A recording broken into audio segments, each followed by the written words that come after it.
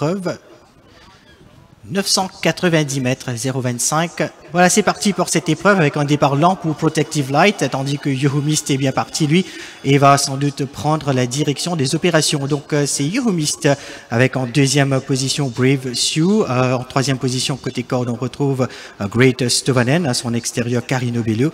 Et on est beaucoup plus en retrait avec Protective Light qui a manqué son départ. Les chevaux n'auront bientôt plus que 600 mètres à parcourir avec Yohumist, toujours en tête dans cette épreuve.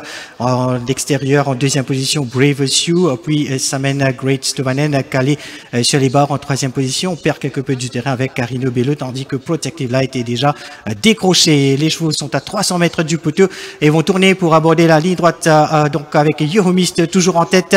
Great Stovanen se fait menaçant à son extérieur, mais Euromist est toujours devant dans cette course. Great Stovanen fait une belle impression au milieu de la piste. Great Stovanen, Euromist, Euromist, Great Stovanen. C'est Great Stovanen qui va s'imposer dans cette épreuve devant Euromist.